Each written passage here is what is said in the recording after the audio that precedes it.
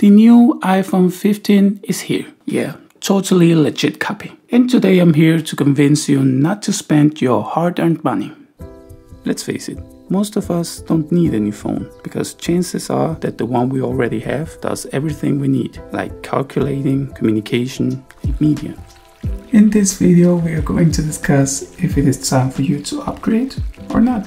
Part 1. Should I upgrade? Ignore the hype. Social media and the people around us often influence us on buying things without thinking too much about it. You need to remind yourself that after about two weeks, a phone is a phone. It happens to all of us. The honeymoon phase is great, you feel excited, but that feeling quickly fades away. It's the same with our cars, computers, TVs, our kids. Ah, no, actually not our kids, and most other material things. So you need to evaluate your phone's performance to really see if you need to buy a new one. There are three things that I feel are crucial in making that decision. Your phone's speed, battery life, and overall performance. Speed. If your phone feels like a slug and you're often frustrated when using it, that's a good indication to upgrade. But remember that maintenance is important. Could it be that your phone is so damn slow because you haven't deleted videos like this.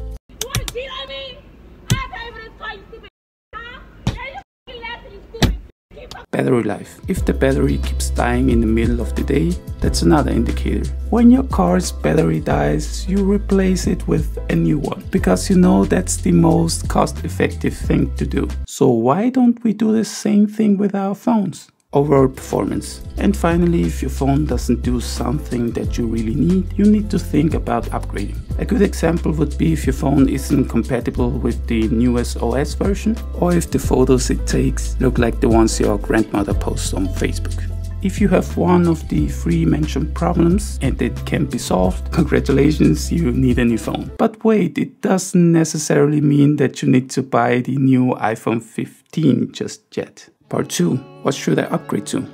What's your budget? Never go into debt to buy a new phone. A $400 phone is better than a $2,000 one if that's the one you can afford. Even if you have the $2,000, it's much better to have an emergency fund, so I would suggest not to spend all your savings on your new phone. Does it have to be the newest one? Phones, especially iPhones, are really built to last. My uncle has been using the same iPhone 6, I believe, for the last 10 years and it still seems to satisfy his needs. Consider upgrading to an older model. The iPhone 14 or 13 are only a fraction of the price they were last year and are still wonderful pieces of equipment that are going to get updates from Apple for many more years. Here's the iPhone 15. It costs 799 for the base model. For that money, you will get a phone with a nice camera, nice screen and everything else Apple has to offer.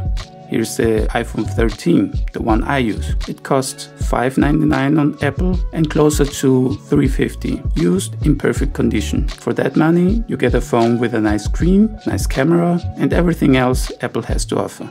If we compare these old Huawei phone. How do you pronounce this name? Huawei? Hawaii? I don't really know. I can't even remember using this phone, but I tried using it for a day as my main phone, and it really could do everything I needed for my job as a content creator. I used the YouTube Studio app, the most important app in my work, Monitor Plus, which is the app that I use to use my phone as a camera monitor, and honestly, every single thing I do on a day-to-day -day basis. The crazy thing is you could get this phone for about $50 used. So you see cost versus value when we're talking about phones is actually crazy.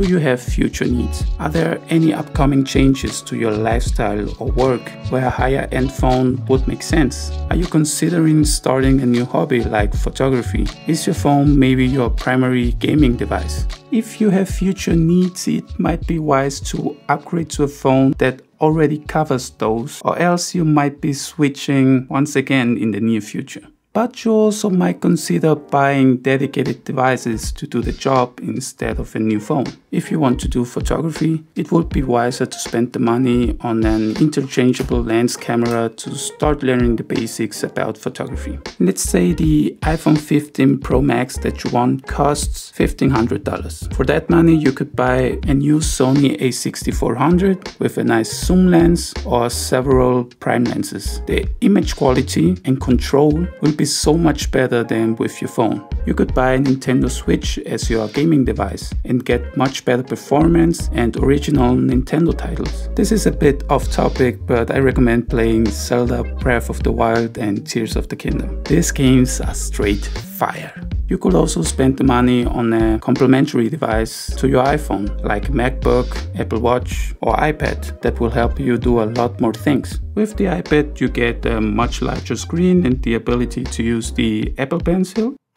With the MacBook you also get a much larger screen and virtually unlimited use cases. And with the little Apple Watch you get a device that does so many things for me that I couldn't even imagine not having it. Where the heck is my phone?